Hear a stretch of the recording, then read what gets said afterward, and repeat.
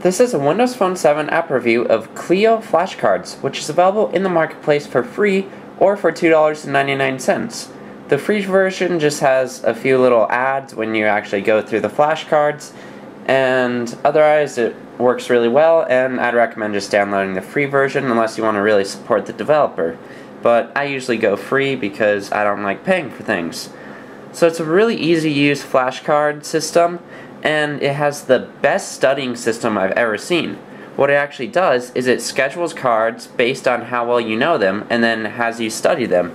So this, these are my Spanish flashcards that I've designed and so that's the English and I need to translate it into Spanish. So verioso should be. Oh no, it's just varios. So I got that wrong, so I'd rate it a 0. Okay, this is tarea. So I know that one really well. I rated a 5. Variado. Yep, I knew that one pretty well, so I'll rate it a 4. So depending on what you rate them, like if you rate it a 3, then it might repeat it the next day. And that works through a really complicated algorithm, but basically it works really well. And it'll help you practice all the words that you really need to learn. And it's a great system. I have over 400 cards in here, and it's all very manageable, and I usually only have like 50 cards to study a day. So it goes by really fast, and it's the best way I've ever seen of studying for a test and learning new vocab or anything. And you can create new cards right on your phone. You just give it a deck name, and you can give it a description if you want, and then create that deck.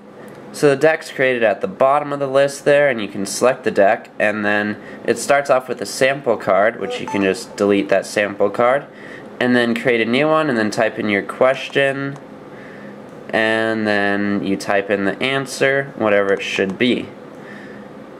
And that's how you create cards. So it's really easy to create, and of course if you're doing a foreign language, it's really easy to type those characters with the Windows Phone keyboard.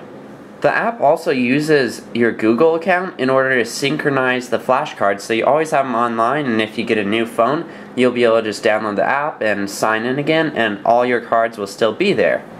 And there's even a computer version that automatically, of course, syncs with your Google account, so any changes you make on your phone are automatically synced into the computer version.